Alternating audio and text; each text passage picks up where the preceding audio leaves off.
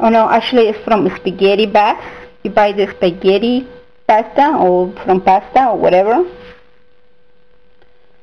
This is let me see about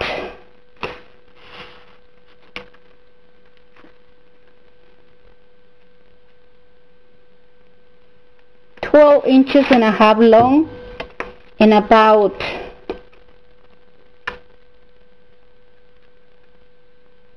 is one inch and almost one inch and a half wide right here alright so we're gonna try to cut this piece right here because looks like it's out of line. So we're gonna cut it a little bit just like that.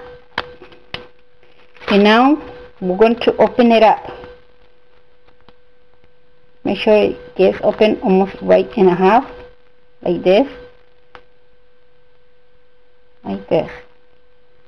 And from there you can pull it all the way like this. See? You open it up just like that. Very very careful not to tear it okay? Just like that all the way down. Alright so right here is thick you don't like it this thick, you can make it very, very thin if you like it. Alright, we're going to see how it's going to come out.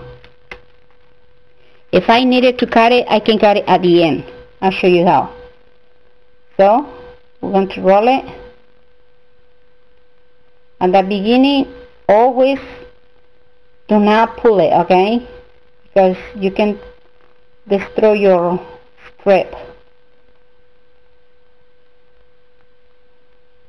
Roll it against your finger. Like this. See? Like that. And after pass the wet spot, you can actually pull it.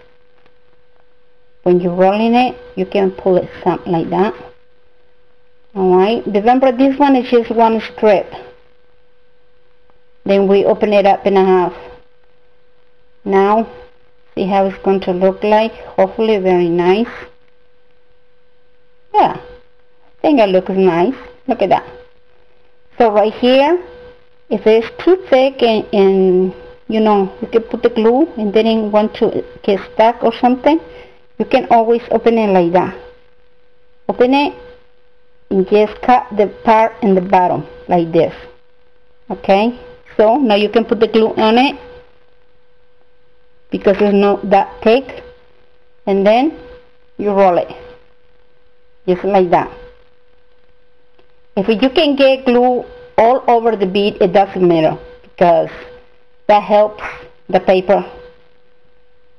And then you know it's much easier for you next time you put the how you call it that glaze on it or however you guys call it. It's going to be really really nice and then it looks really shine obviously. So put the glue like that.